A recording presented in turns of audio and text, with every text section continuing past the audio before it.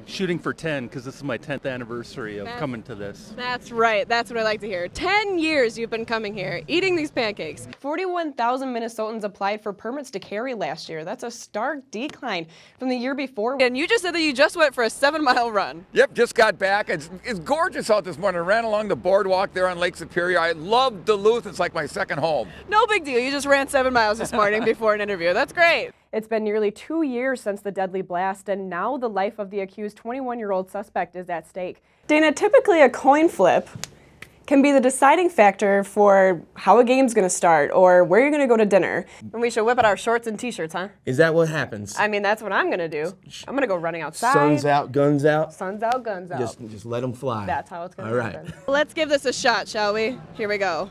Let's see if I can do this. I flipped it! Ah, I flipped it! Last night's cold weather didn't stop Northlanders from hitting the stores to devour good deals. There's going to be hundreds and hundreds and maybe even thousands of people cheering on all of the racers that are coming through. This is fantastic. I brought in my blanket that I have had. Blanket. Bla- yeah, let's see. Let's Look at this thing. it's not a blanket. This looks like something that Captain Jack Sparrow would wear. I know.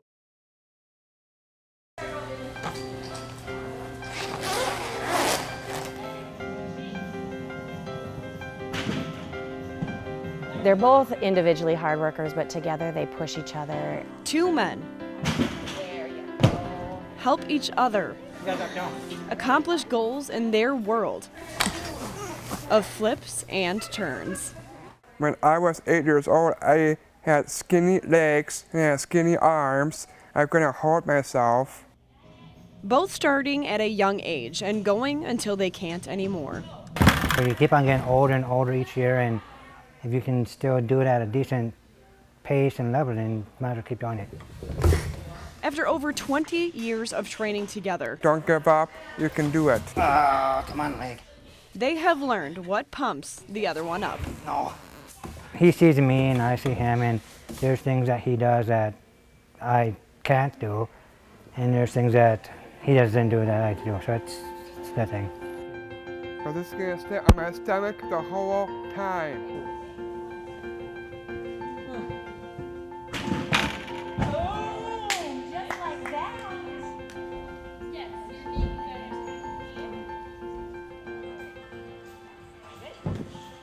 One, two, three. Special Olympics has given these two men the opportunity to showcase their talents. It's just such a joy to watch them challenge others around them, challenge themselves, and um, be here every day wanting to work out. It builds confidence, they set goals, they achieve goals. Seeing the pride that happens when they achieve their goals is amazing. Krista Almquist, who coaches the two Seans, makes sure Every time. We joke around a lot. laughter is a part of the practice. They're fun, they're carefree, and so it makes my job as a coach really easy. Sometimes it takes a little more motivation than other days. You just sit there and look good, okay? and sometimes when I come here, I take a nap and get myself get moving. Can't leave me hanging. I like trying to push him. I try to make him do more than he wants, but he doesn't. But he's a good boy. Come on, toes on, you got it. For Sean Klund, Special Olympics was a place for him to come out of his shell. I was a person that would just hide in a corner and be afraid of everything from things that happened, and they got me to open up and trust people. And for the other Sean, it was a way to keep him focused. At one point, little Sean was all over the gym. He wasn't focused. You could hardly get him to concentrate on an event. And now he's a leader in the gym. One thing about special gymnastics is for certain. These boys now have the drive and ambition to succeed.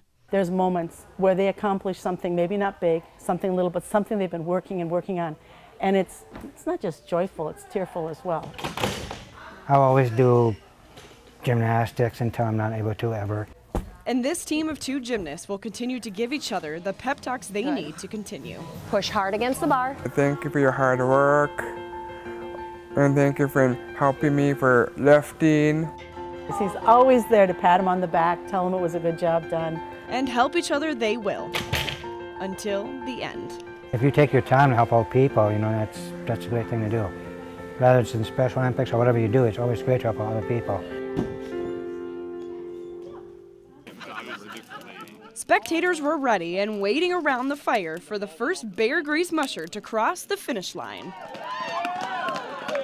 Ryan Anderson led his dogs to first place after completing a 319 mile course, and from the beginning, it was once again a close race. Nathan and I were kind of going running together pretty much the whole way as far as run times went. Um, and then just the last couple runs, I think he kind of, well, I ended up blowing through Sawbill, and I guess he chased me out of there. So I don't know if that was in his plan to do or if I got him off his game there or not.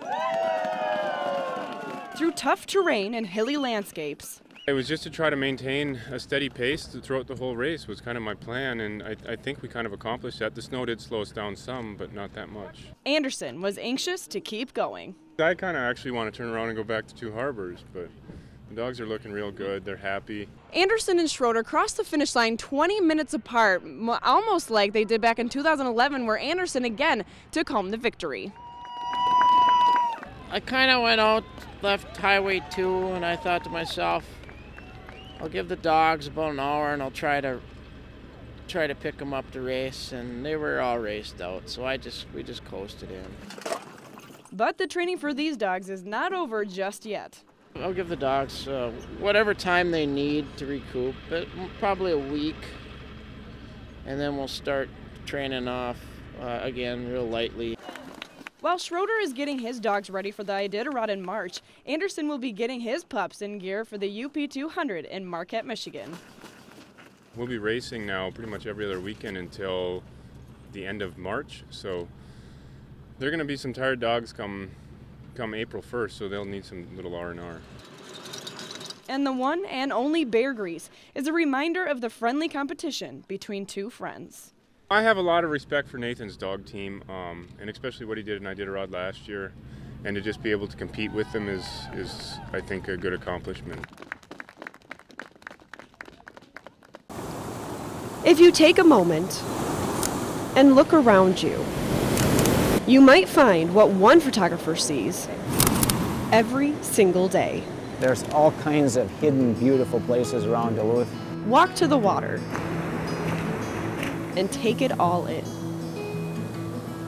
People keep asking me why I keep going back to the same spots all the time, time and again. Because there's no two days alike in a photographer's mind. Each day is a different blend of elements that creates a different picture.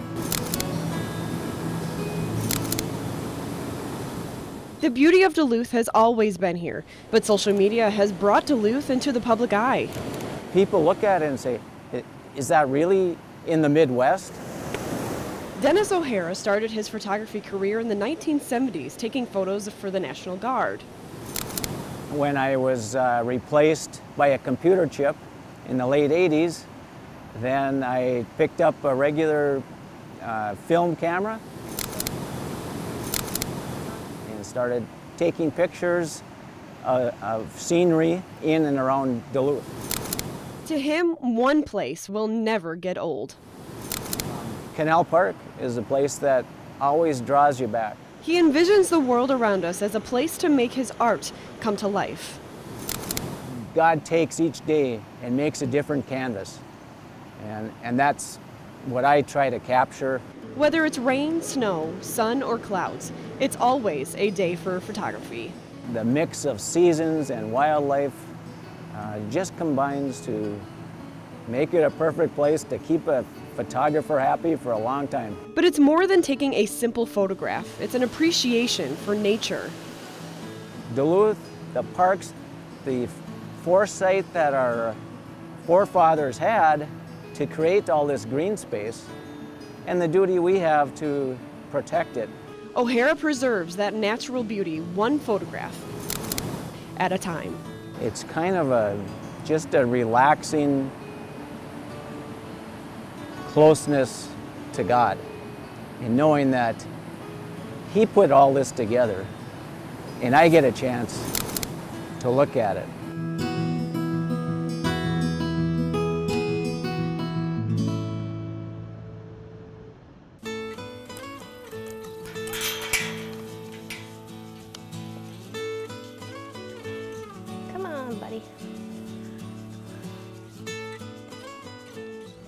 In the country, Just outside of Duluth lies a place where therapy and laughter come together as one to help those facing life challenges find growth and healing through a connection with horses. Good boy. The folks that have some physical limitations, uh, it's, a, it's a good builder for their core strength and their balance. Um, we've got uh, nonverbal clients that work on their speech while they're here. North Country Ride, a nonprofit organization, has been a helping hand since 1982. We celebrated uh, 32 years and it's um, just keeps growing every year. We're gonna put it way up on his neck. We are here to help people with some kind of life challenge um, try to overcome that, even in a small way, um, using horses to help them get there. And they believe horses can help with more than just the physical needs. Any variety of confidence building, um, learning to respect the other people in the class, and definitely learning respect uh, for the horses. It's all in the rider's tone of voice. Waka. That proves progress is in session. He's delighted. You can tell the way he's just his body language and he's smiling and his speech is happy and he's calm and relaxed. And so um, he's, he's getting great pleasure out of it. What did I say again to make him stop? You say whoa when you want. Lars Bettendorf of Duluth has a chromosomal abnormality that has led to some developmental delays. But nothing is stopping him from enjoying his time with his horse, Shiloh. Okay, I'm ready to go again. This is a great opportunity for him to get more comfortable with horses and have a good time and, and get some therapy out of it as well. Learning how to groom There you go. and saddle up Now you're gonna put this foot in your stirrup. Okay, look at his head. There you go. Nice job. is only the beginning of what they learn here. I think the size and the generosity of spirit that you see from a horse, it is just so obvious that you can connect with a horse. Um, it, they, they, they have to be gentle with us, and it makes you want to be gentle and kind with them in return. And the gratifying experience is shared amongst all who are a helping hand.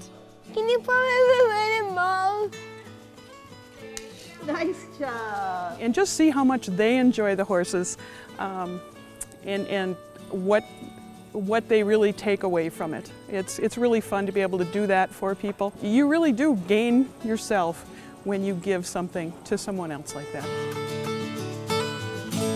Before I get strapped up and gloves on, he got me a little warmed up, Rocky style.